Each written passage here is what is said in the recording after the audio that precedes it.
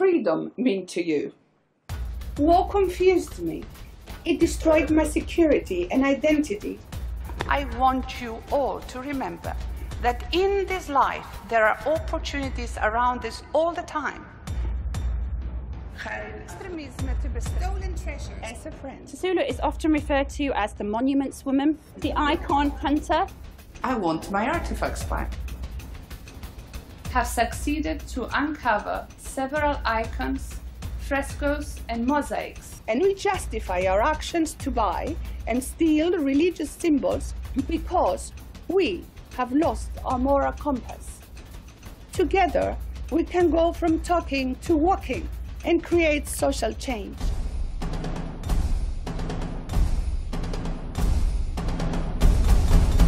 I am a negotiator of peace, and I use cultural heritage as my currency.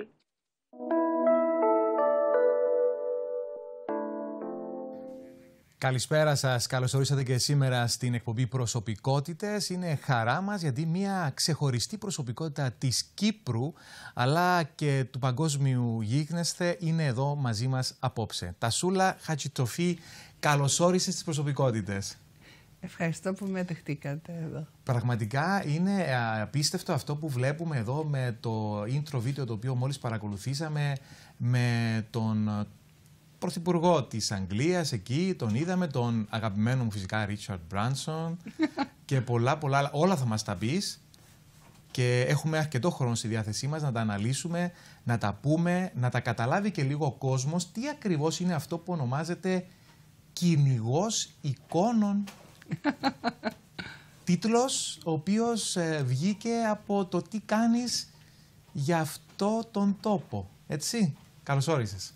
Ευχαριστώ πολύ. Γεια Ποια σας. είναι αλήθεια η Τασούλα Χατζητοφή; Η Τασούλα Χατζητοφή, όπως και κάθε άνθρωπος, έχει πολλές διαφορετικές όψεις. Είμαι η γυναίκα του Μιχάλη Χατζητοφή, είμαι μητέρα της Μαρίνας, του Ανδρέα και της Σοφίτσας, είμαι επιχειρηματίας, ε, είμαι ακτιβίστρια, αλλά υπάρχει και μια μικρή τασούλα μέσα μου που είναι η αμοχωστιανή τασούλα, μια πρόσφυγας που στην ηλικία των 15 χρονών, 14 και κάτι, έζησα την εισβολή και αυτή νομίζω είναι η φωνούλα, αυτή είναι η κυνηγός των εικόνων.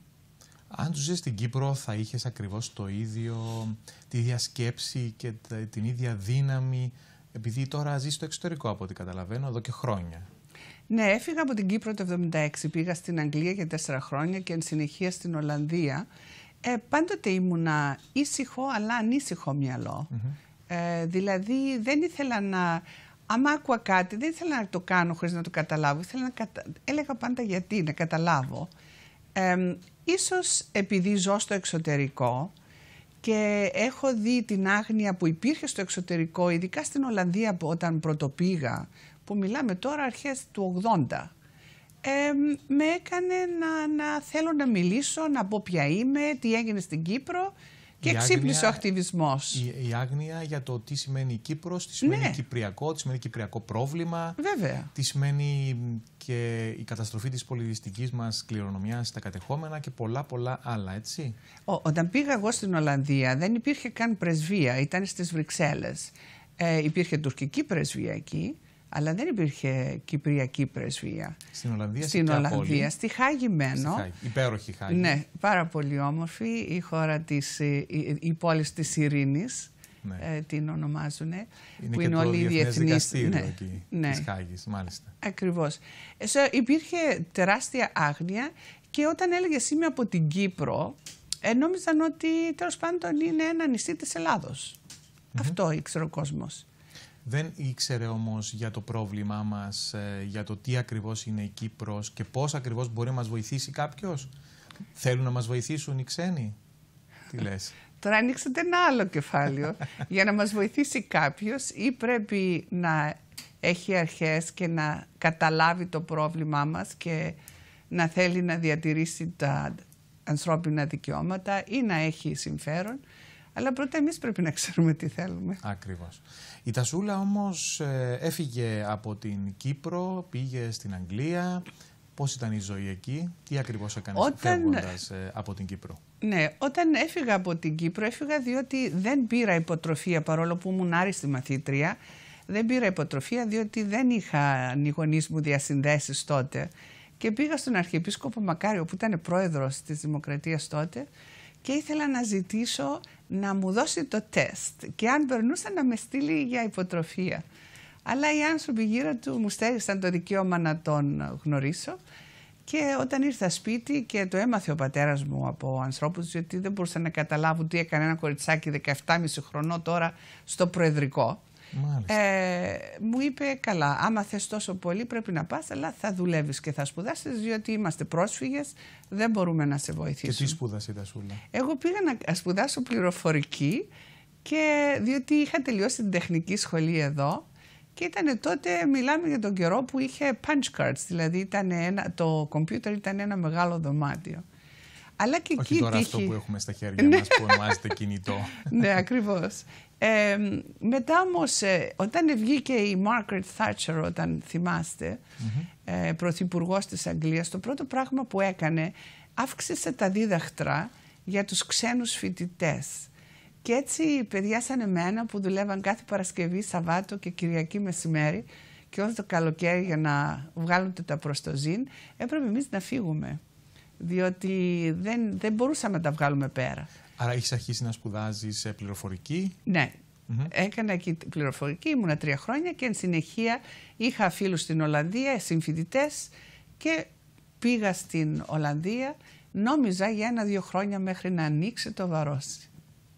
Αλλά τώρα πολλά χρόνια εκεί Ναι. παντρεύτηκες, έκανες τρία παιδιά. Παντρεύτηκα, έκανα τρία παιδιά, ε, ε, ε, δούλεψα, έκανα εταιρεία δική μου και έγινα ακτιβίστρια, αγάπησα την Ολλανδία και είναι μια πολύ όμορφη χώρα. Μου έχει προσφέρει αρκετές ευκαιρίες για να μπορέσω να δουλέψω και να βρω τη φωνή μου μέσα στην πολιτιστική κληρονομιά.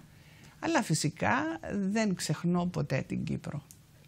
Πιστεύεις ότι οι Έλληνες του εξωτερικού είναι περισσότερο Έλληνες από αυτούς που είναι οι Κύπροι, από αυτούς που είναι στις χώρες, στην Κύπρο και στην Ελλάδα; Ε, είναι δύσκολο να το συγκρίνετε. Απλώς ε, πιστεύω ότι για να επιζήσεις το εξωτερικό σαν απόδημος πρέπει ε, να αποδεχτείς μερικά, πρα- ε, να προσα, ε, προσανατολιστείς, πώς το λέμε, να, Ακριβώς. ε, στο περιβάλλον εκείνο. Και μ, βλέπεις ανθρώπους διαφορετικούς και γίνεσαι και εσύ λίγο διαφορετικός. Ερχόμενοι πίσω όμως καταλαβαίνεις ότι και εδώ είσαι διαφορετικός. Ε, δεν νομίζω ότι αγαπάμε περισσότερο ή λιγότερο, απλώς επειδή είμαστε διαφορετικοί, για να μπορέσουμε να επιβιώσουμε, κρατιόμαστε από αυτή την ταυτότητα που ξέρουμε, για να καταλάβουμε γιατί είμαστε διαφορετικοί. Είσαι όμως διαφορετική γιατί προσπαθείς αρκετά να φέρεις πίσω στην Κύπρο κάποιες ε, κλεμμένες αρχαιότητες, ε, κάποιες κλεμμένες εικόνες και πολλά πολλά άλλα πράγματα. Πες μας έτσι λίγο, γιατί θα μιλήσουμε και για το βιβλίο που κυκλοφόρησες και έγινε η παρουσίαση πριν από μερικές ε, εβδομάδες.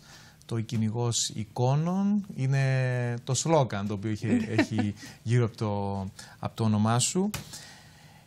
Άρχισες να, πώς, ας- πώς να ασχοληθείς με όλο αυτό το πράγμα, δηλαδή στο να, πώς το σκέφτηκες, πώς ήρθε αυτή η ιδέα να, να επιστρέψουν πίσω στην Κύπρο αυτές οι κλεμμένες αρχαιότητες; Σίγουρα δεν ξεκίνησα για να γίνω James Bond ή Indiana Jones.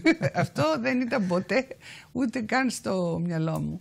Ε, απλώς όταν έγινε η εισβολή το 1974, εγώ ήμουνα ένα από τα παιδιά που έζησαν την εισβολή. Και θέλω να μοιραστώ μαζί σας ότι όταν ο άνθρωπος περάσει πόλεμο, φυσικά όλες οι απώλειες έχουν επιδρού στο χαρακτήρα μας, αλλά όταν περάσεις πόλεμο και δεις γύρω σου όλα να καταραίουν, ε, δεις ε, και μυρίσεις το θάνατο ε, και νιώθεις ότι δεν υπάρχει κανένας να σε βοηθήσει. Και εμάς όντως δεν υπήρχε κανένας να μας βοηθήσει.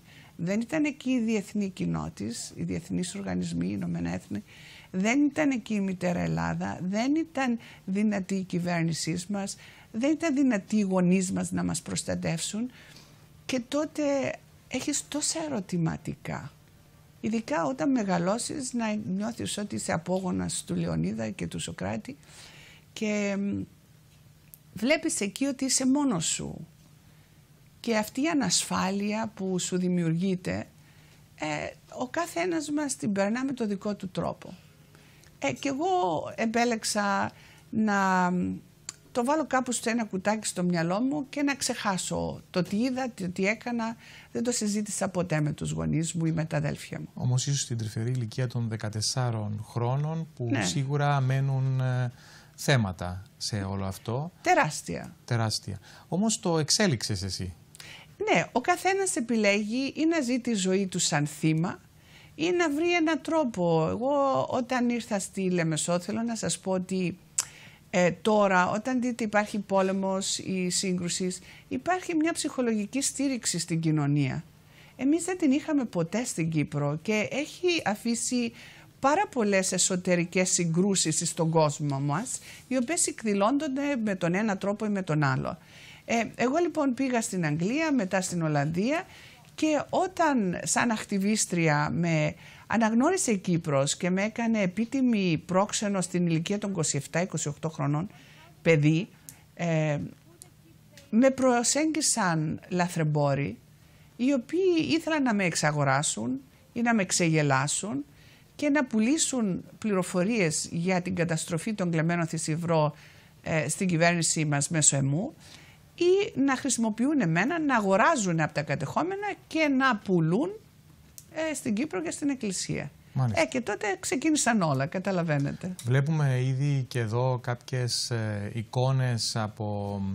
Τι, τι είναι αυτό που λέει, είναι το βιβλίο αυτό έτσι; Αυτό είναι το βιβλίο το οποίο ξεκίνησε αρχικά, α, η Αιάν Χιρσιάλη που είναι ακτιβίστρια. Ναι. Εμ, ε, το βιβλίο έχει εκδοθεί το 17 στην Αγγλία, είναι στο amazon.com, στην αγγλική γλώσσα και τώρα έχει εκδοθεί στα ελληνικά από τον Νίκο Λιβάνη. Αλλά στόχος με μένα με αυτό το βιβλίο, όταν αρχικά μου έλεγαν όλοι πρέπει να γράψεις βιβλίο, τους λέω άλλοι να γράψουν τι κάνω. Εγώ θέλω να κάνω, μιλώ. Με τον επαναπατρισμό μιλάω στον κόσμο. Βλέπουμε εδώ ότι ε, δεκάδες παραδείγματα ε, ανθρώπων που ε, βοήθησαν έτσι ώστε μαζί με σένα να έρθουν οι, οι εικόνες πίσω στην Κύπρο.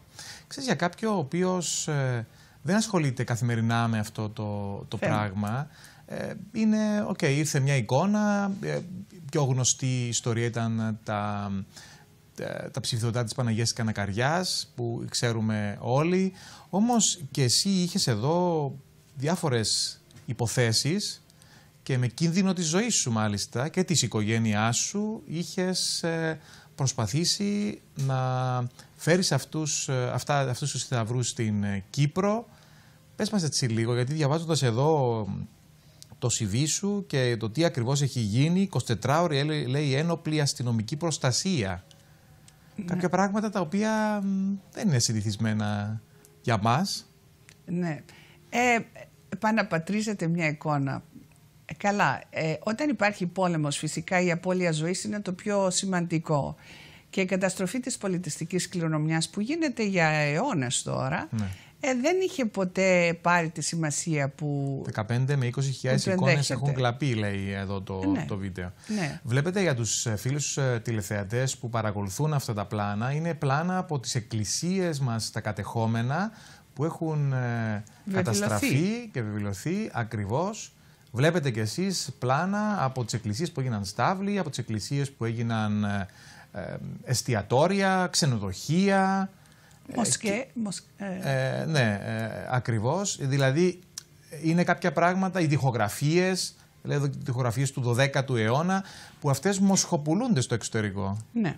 Έτσι, δηλαδή ε, έρχονται οι ειδικοί, τις αφαιρούν και τις πουλούν στο, στο εξωτερικό.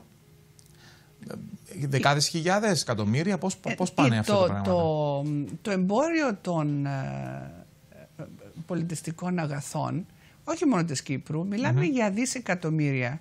Το θέμα είναι ότι έχουμε χάσει στον κόσμο τα, την πηξίδα της ηθικής μας.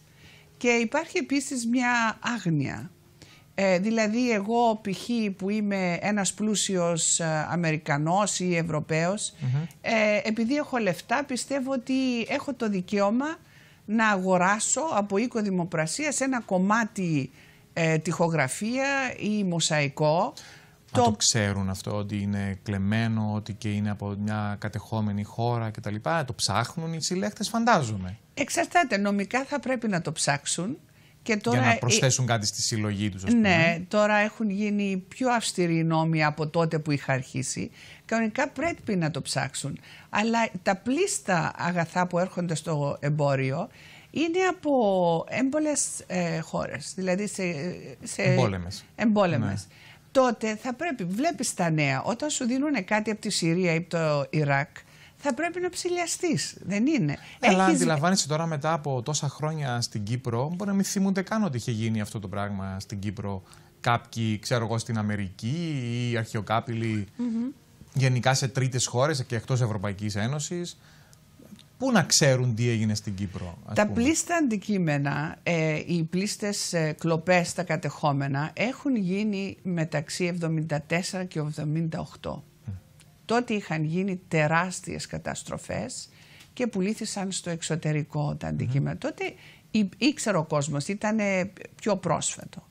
Ε, φυσικά, όταν είναι κομμάτι εκκλησίας, δηλαδή κομμάτι τείχου, βλέπεις ότι έχει αποσπαστεί από τον τοίχο με ένα βάναυσο τρόπο. Δηλαδή θα πρέπει να σκεφτείς από πού προήρθε. Ε, υπάρχει μια υποχρέωση, τώρα φυσικά υπάρχουν και διεθνείς συμβάσεις και είναι πιο αυστηρές που θα πρέπει να κάνεις τη δουλειά σου και σαν συλλέχτης αλλά και σαν οίκος δημοπρασίας αλλά και σαν χώρα όταν πουλούνται στη χώρα σου υπάρχουν διακρατικές συμβάσεις που θα μπορούσες να τις ε, ε, ενεργοποιήσεις και να...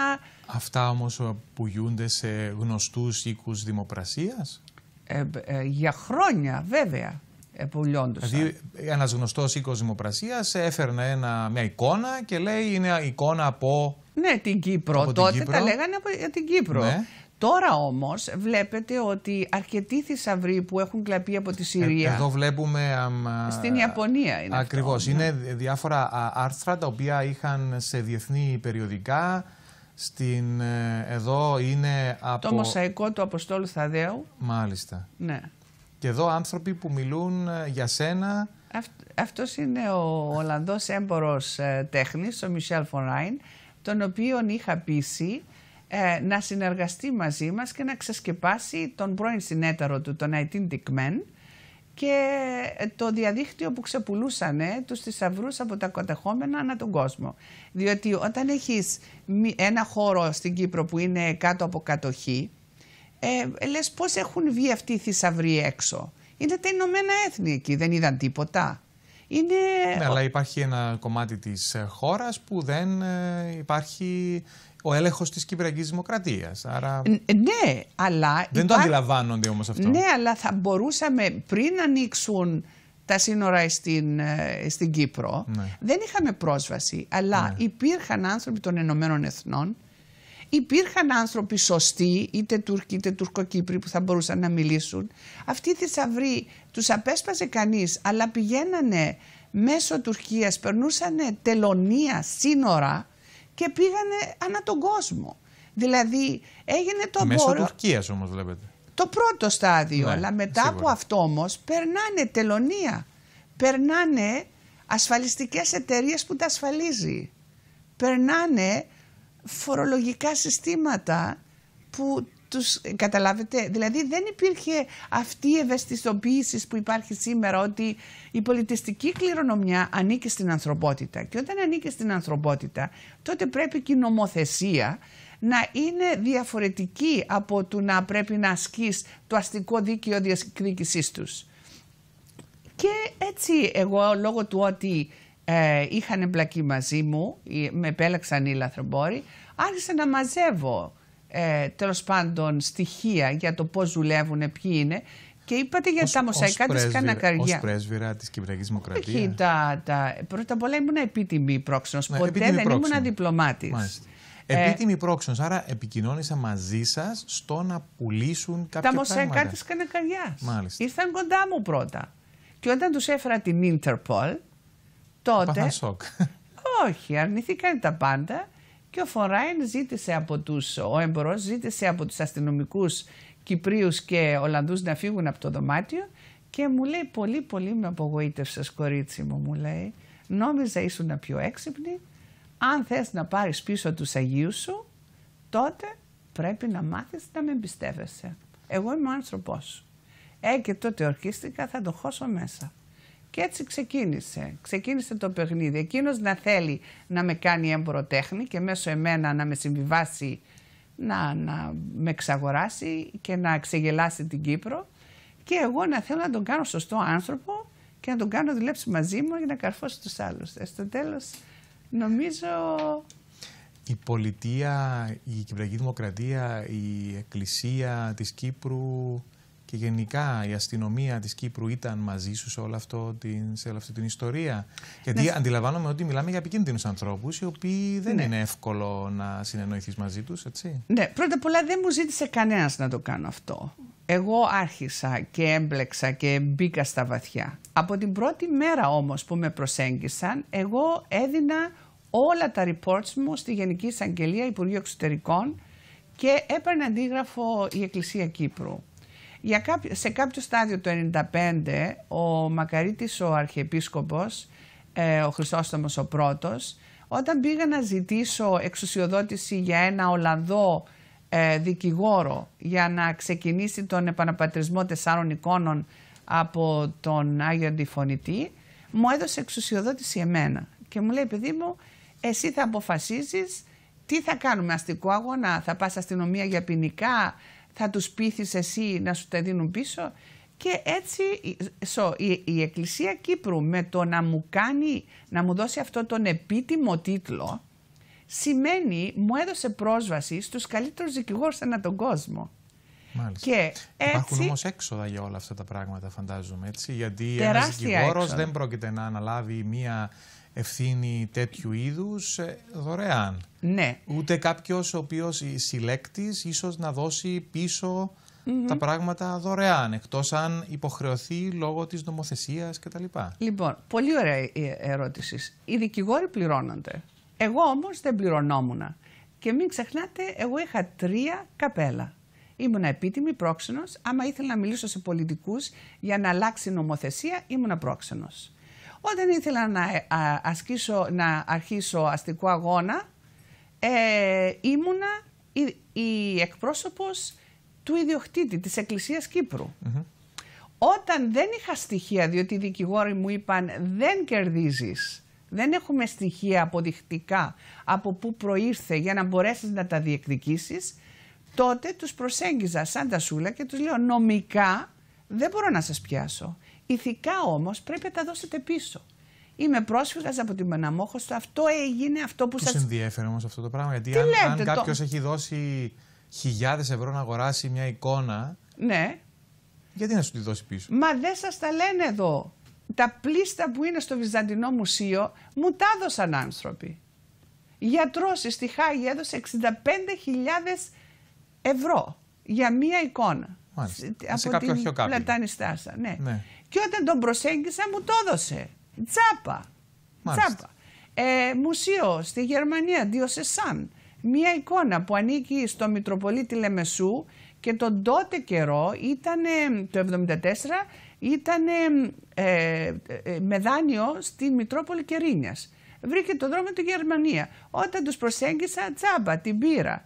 Η κυρία Μαριάννα Λάτσι στην Ελλάδα αγόρασε από δημοπρασία ε, έναν άγγελο που ήταν η τυχογραφία.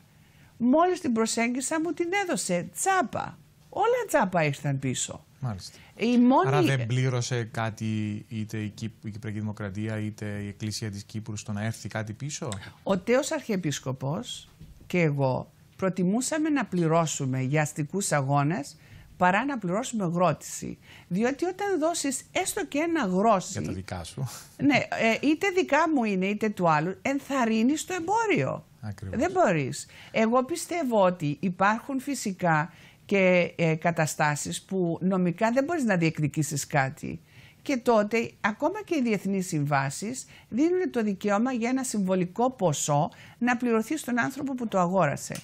Άλλο όμως να αγοράσεις από αυτόν που το αγόρασε και να πληρώσεις ένα συμβολικό ποσό ή να επαναπατριστούν και να πληρώσεις τα έξοδα του.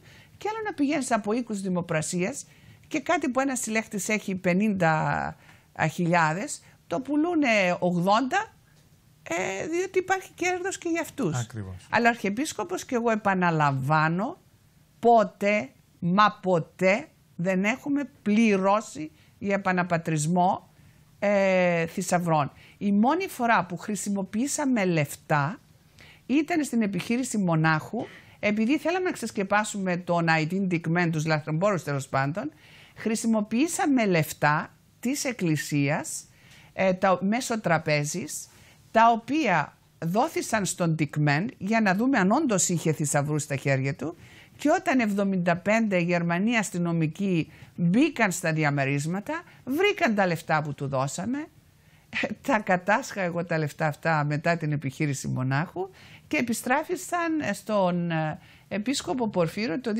2013 στην Εκκλησία Κύπρου. Μάλιστα.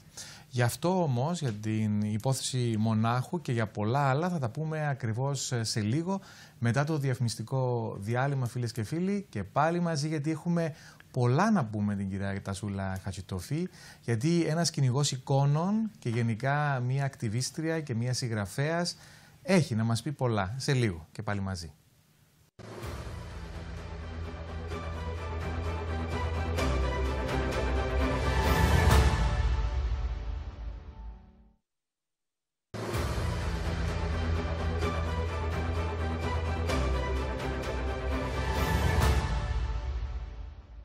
Ήρθατε στο δεύτερο μέρος της εκπομπής Προσωπικότητες. Εδώ μία προσωπικότητα της Κύπρου αλλά και του εξωτερικού, η κυρία Τασούλα Χαζητοφή, είναι εδώ μαζί μας. Κυνηγός εικόνων έμεινε να την χαρακτηρίζει κάποιος, αλλά είναι ακτιβίστρια, συγγραφέας και άνθρωπος της Κύπρου, ο οποίος έφερε τις εικόνες μας, φέρνει τις εικόνες μας και συνεχίζει ένα αγώνα ενάντια σε επικίνδυνους ανθρώπους οι οποίοι καταστρέφουν, κατέστρεψαν τέλος πάντων την πολιτιστική κληρονομιά αιώνων. Έτσι.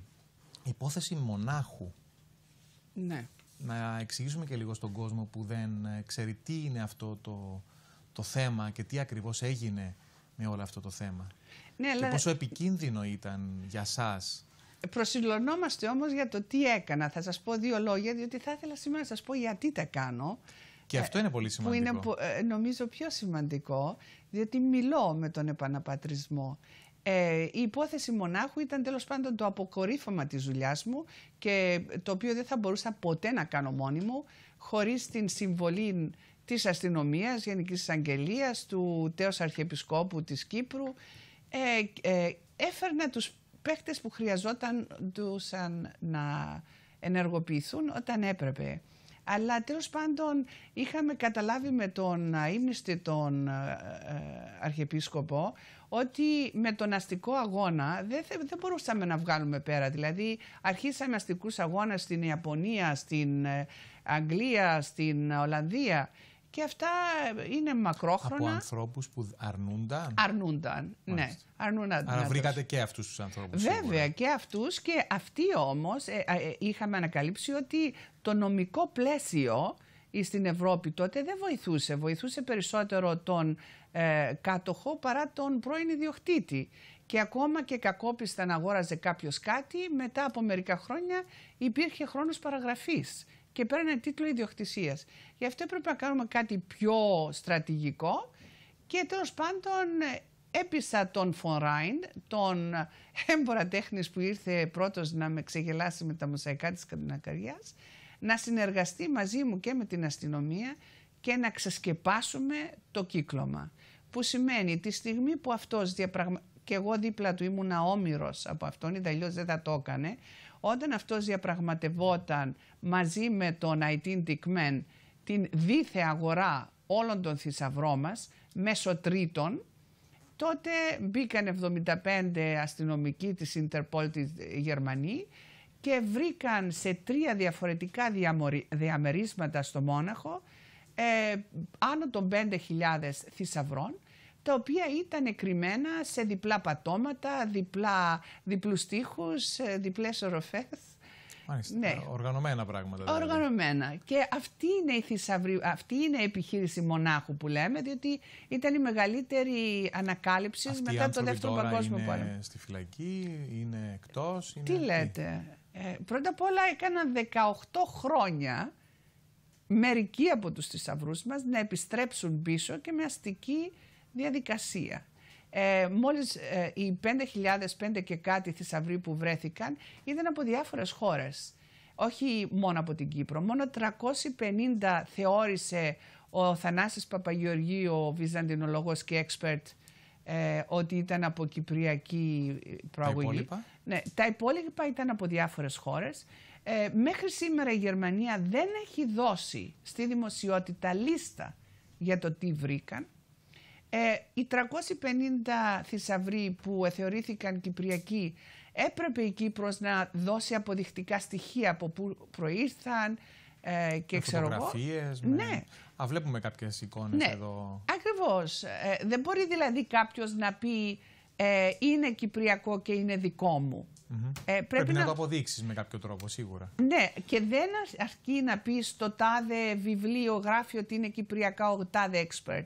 Πρέπει να έχεις φωτογραφίες ότι πριν το 1974 ήταν σε αυτή την εκκλησία Μα ή σε ήταν. αυτό τον αρχαιολογικό χώρο ή σε αυτή την συλλογή.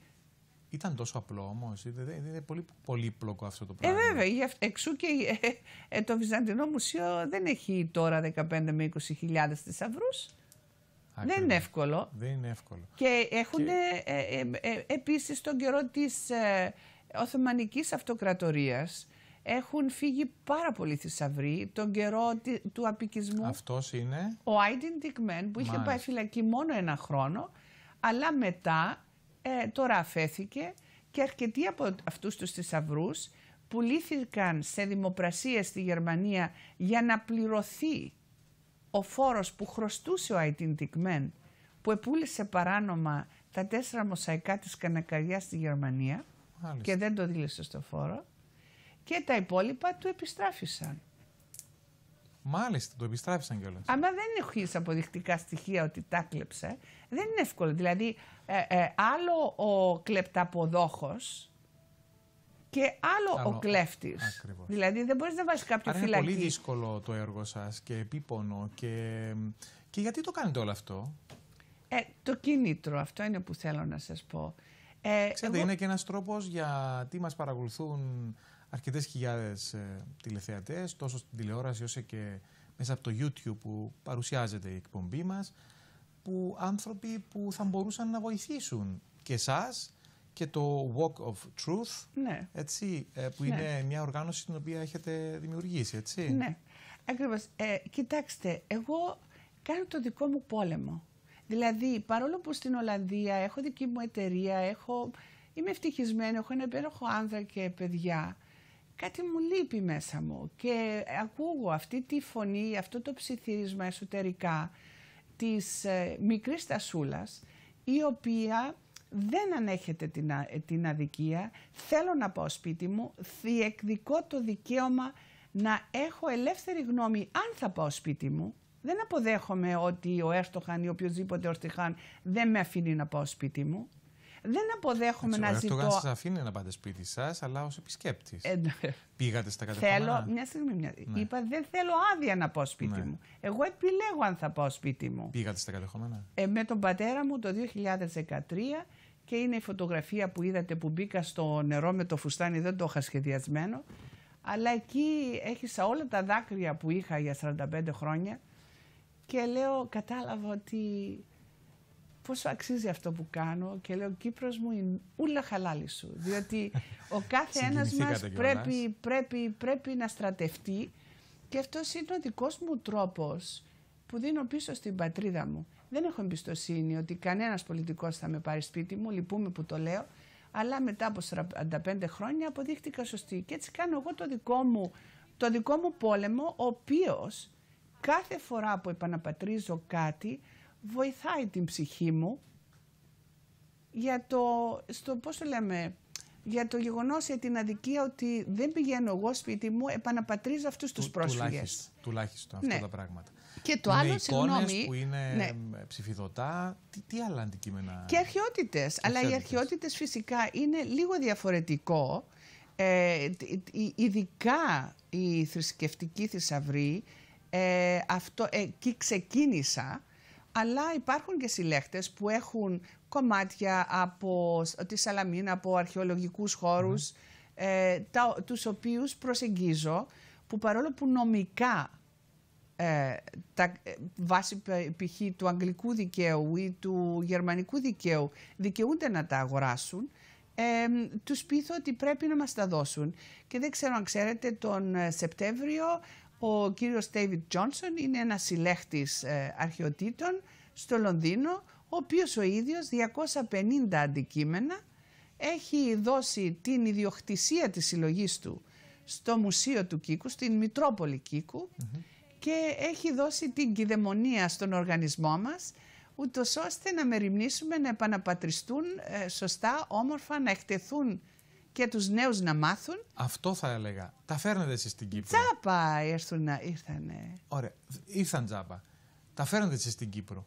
Ποιος τα βλέπει; Και Τι πού εννοείς; είναι αυτά τα πράγματα; Δηλαδή μπορεί κάποιος, υπάρχει ιστορία πίσω στα μουσεία μας έτσι ώστε να μπορεί κάποιος να πάει να διαβάσει εκεί ότι είναι τα ψηφιδωτά της Παναγίας της Κανακαριάς, ήρθα στην Κύπρο, μετά πα- ήταν στην εκκλησία ε, στη Λιθράγκομη, αν δεν κάνω λάθος, Ναι. και ήρθαν εδώ και είναι αυτή η ιστορία του επαναπατρισμού τους, γιατί είναι μια άλλη ιστορία από, το, από την πρώτη ιστορία που εμ, εμπήκαν εκεί στην Κανακαριά, στην Λιθράγκομη, αλλά είναι μια δεύτερη ιστορία ότι ήρθαν σπίτι τους.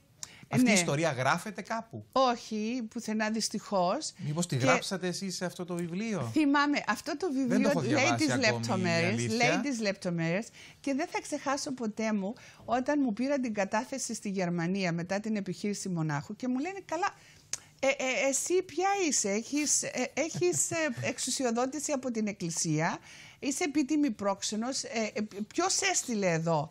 Ε, και στην κατάθεση μου έγραψε όλοι με ρωτάν ποια είμαι, αλλά η ταυτότητά μου είναι είμαι μια πρόσφυγας από την Αμόχωστο και γι' αυτό το κάνω. Και θυμάμαι τότε είχα κλάψει στη Γενική Εισαγγελία και τους λέω δεν με νοιάζει αν δεν πείτε το όνομα μου ποτέ. Αλλά σας παρακαλώ, πέστε τους ότι είναι μια πρόσφυγας ανώνυμη από την Αμόχωστο και γι' αυτό το κάνει.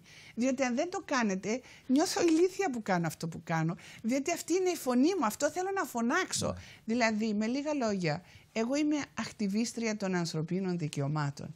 Διεκδικώ το δικαίωμα του κάθε πρόσφυγα να πάει σπίτι του. Του κάθε ανθρώπου που είναι διαφορετικός να σεβόμεθα τη διαφορετικότητά του.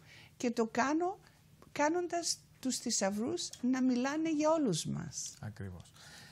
Έγινε πριν από μερικές εβδομάδες η παρουσίαση ενός βιβλίου, Ναι, δικού σας βιβλίου. ναι.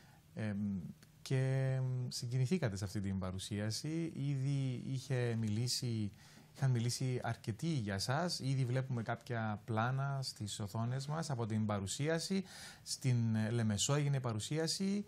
Έγινε η παρουσίαση της ελληνικής έκδοσης του βιβλίου. Ναι, έτσι. Θέλετε να ναι. μας πείτε έτσι λίγο και αρκετός κόσμος ε, φυσικά. Ε, έχω κάνει αρκετές παρουσιάσεις ε, στο εξωτερικό για το αγγλικό βιβλίο και εκεί είναι πιο εύκολο για μένα, ε, είναι πιο εύκολο για μένα να πουλάω Κύπρο, ε, να έρθω πίσω. Η μαγιά μας να πουλάτε την Κύπρο στην Κύπρο. Ε, ε, ποτέ δεν το επιδίωξα Ναι, και Μητροπολίτης λόγω των Λεμεσού. μερικών προβλημάτων που υπήρχαν ε, από τέλος πάντων ε, μερικούς δημοσίους υπαλλήλους που ένιωσαν ότι έπρεπε εκείνοι να κάνουν αυτόν και μου δημιούργησαν δυσκολίες.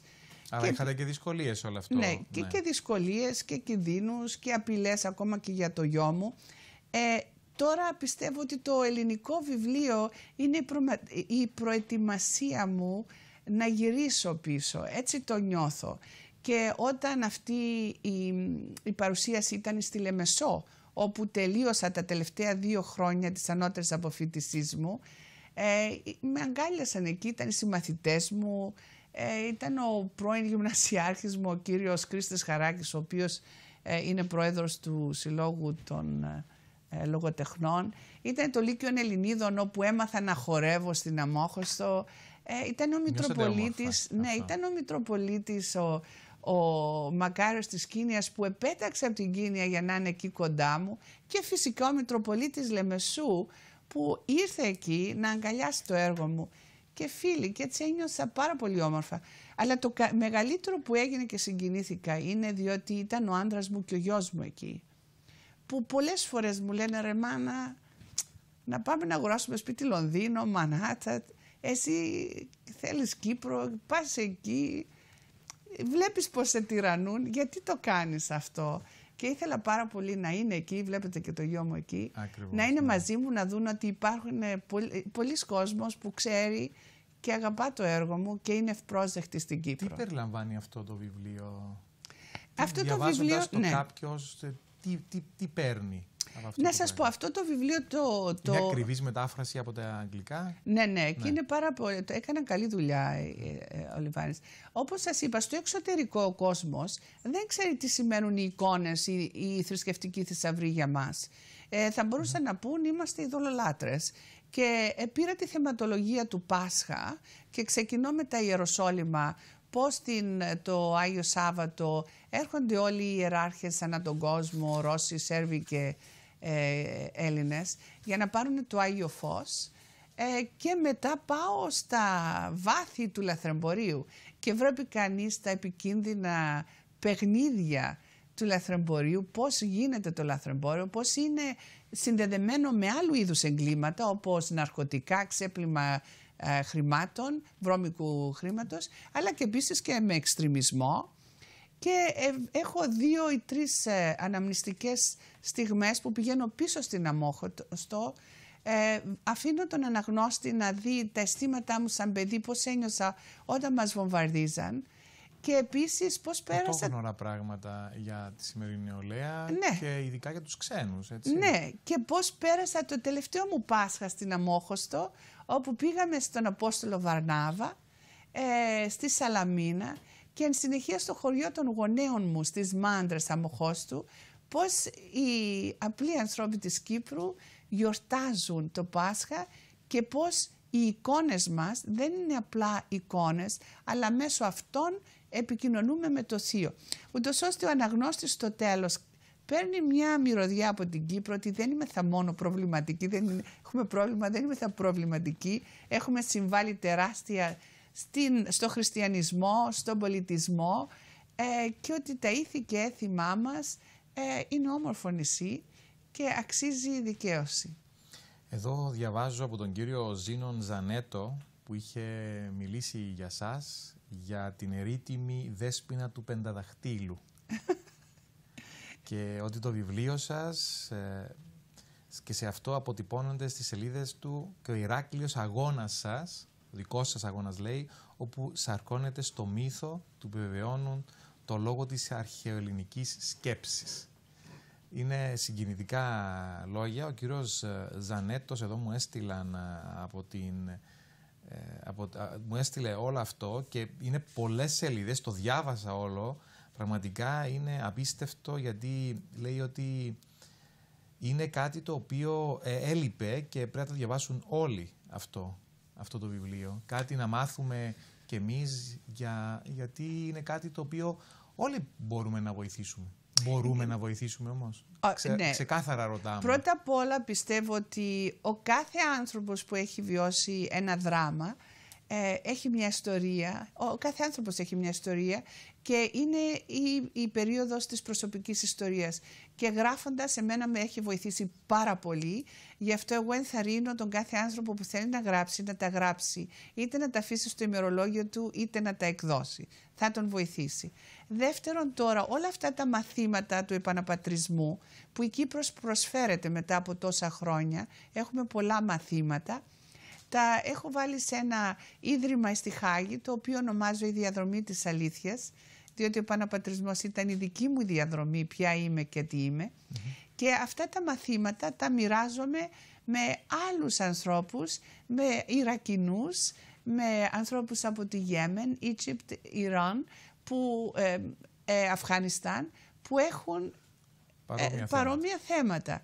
Και, ε, Βοηθάτε ο ένας τον άλλο; Ε, ναι, ε, έχω ένα διαδίκτυο ανά τον κόσμο από δικηγόρους που με βοηθούν προμπόνο από Αμερική, από Αγγλία, από Ολλανδία ε, ακαδημαϊκούς οι οποίοι όταν βρω κάτι τους το στέλνουμε και μέσα σε δύο λεπτά τώρα με το ίντερνετ μου λένε αυτό είναι από την Συρία, αυτό είναι από την Κύπρο, αυτό είναι από την Ελλάδα. Ναι. Ε, τα, το νομικό ε, πλαίσιο που πρέπει να είναι ναι. έτσι ή αλλιώς. Έχω πάρα πολλούς φοιτητές, πάρα πολλούς φοιτητές. Έχω μιλήσει στο Harvard, στο New York University, ε, στο Λονδίνο, στο UCL και οι φοιτητές έρχονται και γίνονται culture crime watchers. Και έτσι παρακολουθούν το eBay, παρακολουθούν τα auctions και, μας δίνουν tips. Ναι. Ναι. Άρα κάποιος που θέλει να βοηθήσει μπορεί να επικοινωνήσει μαζί σας μέσα από τη σελίδα σας ε, στο facebook, έτσι; Ναι, αλλά θέλω να σας πω ότι κατακλειστήκαμε από ε, ανθρώπους που θέλουν να συμβάλλουν και τώρα τους επόμενους μήνες θα κάνουμε την πλατφόρμα μας ε, με τέτοιο τρόπο ούτως ώστε να μπορούμε να ανταποκριθούμε.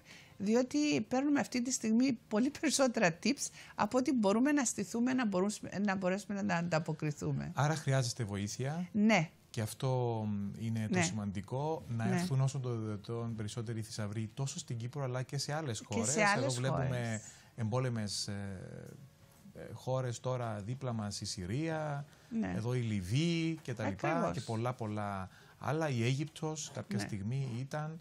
Άρα είναι κάτι το οποίο χρειάζεστε βοήθεια. Πώς μπορεί να επικοινωνήσει κάποιος μαζί σας, Υπάρχει κάποιος. Στη σελίδα μας είναι, info at walkoftruth.org. Θέλω Άρα να σας πω ότι. walkoftruth.org. Ναι. Δεν υπάρχει καμία χώρα που να μπορεί να έχει αρκετούς ανθρώπους, είτε αστυνομικούς, για να μπορούν να προστατεύσουν την πολιτιστική τους κληρονομιά. Αυτό δεν μπορούσε να το έκανε η Δημοκρατία ή μόνο η Εκκλησία; Πρέπει να γίνει ιδιωτική πρωτοβουλία, γιατί είναι κάτι το οποίο ε, απευθυνόμενος και προς ε, τον κόσμο, ε, σίγουρα το περίμενε ότι θα το κάνει η πολιτεία αυτό το πράγμα, να φέρει η ε, Εκκλησία τους θησαυρού ναι, της Κύπρου μας πίσω. Ναι, αλλά άλλο το άλλο το άλλο. Εγώ ζω στην Ολλανδία που η Χάγη είναι η πόλη των NGO, τους ε, μη κερδοσκοπικούς οργανισμούς και είναι πολύ πιο εύκολο άλλοι πρόσφυγες ή άλλοι ανθρώποι να έρθουν σε ένα ανεξάρτητο ε, πλατφόρμα όπως αυτή του Walk of Truth παρά για την κυβέρνηση. Γιατί εγώ να δώσω tips στην κυβέρνηση για να πάρει ένας υπάλληλος προαγωγή και να μην το δώσω σε έναν άνθρωπο που το κάνει με την ψυχή του ε, τζάπα. Εμείς είμαστε ανεξάρτητοι άνθρωποι και γι' αυτό μπορούμε να εξασκήσουμε και κριτική στις χώρες που δεν έχουν τη σωστή νομοθεσία. Άρα δουλεύει καλύτερα το ίδιο. Ε, άλλος ο ρόλος του ενός και άλλος του άλλου, αλλά πρέπει να συνεργάζονται. Αμόχωστος. Αμόχωστος. Ναι. Τι είναι για εσάς η αμόχωστος; Είναι ο χώρος που θέλω να κλείσω τα μάτια μου. Έχω γυρίσει τον κόσμο και εγώ πρώτα ύστερα θα πάω σπίτι μου. Και αν δεν πάω ζωντανή, θα πάω πεθαμένη. Αυτή είναι η αμόχωστος. αυτό.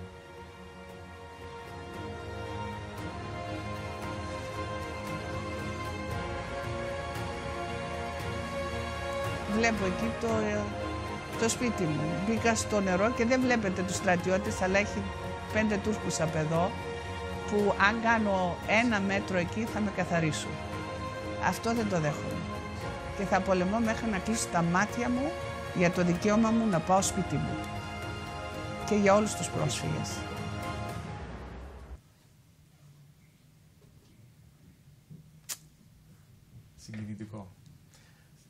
Το εύχομαι και σε εσάς, αλλά και σε όλο τον κόσμο, ο οποίος κάνει το δικό του αγώνα καθημερινά, να πάει σπίτι του, στους αγνοούμενους μας. Ε, πραγματικά ευχαριστώ. Ήταν ε, πραγματικά υπέροχη συνέντευξη. Νιώθω πραγματικά υπέροχα που βγάλαμε όλα αυτά τα μηνύματα, φίλες και φίλοι, προς όλο τον κόσμο, ότι ένας άνθρωπος τελικά μπορεί να κάνει τη διαφορά. Και αυτό πιστεύω. και σας ευχαριστώ πολύ. Εγώ σας ευχαριστώ. Κάθε επιτυχία θα είμαστε δίπλα σας. Σας ευχαριστώ πάρα πολύ. Και όλη Κύπρος πιστεύω θα είναι. Και θέλω να σας πω το τελευταίο, θέλω να διεκδικήσουμε το δικαίωμα ελεύθερης προσευχής της Εκκλησίας στα κατεχόμενα. Όχι το δικαίωμα να ζητούμε άδεια, να μας δίνουν άδεια να προσευχηθούμε. αυτό, αυτό, είναι το ανθρώπινο δικαίωμα. Ακριβώς. Είναι ανθρώπινο δικαίωμα. Σας ευχαριστώ πάρα πολύ. Εγώ σας ευχαριστώ. Ευχαριστώ και εσάς φίλες και φίλοι που μείνετε εδώ στο Capital στην εκπομπή Προσωπικότητες. Μέχρι την ερχόμενη εβδομάδα, καλό σας βράδυ.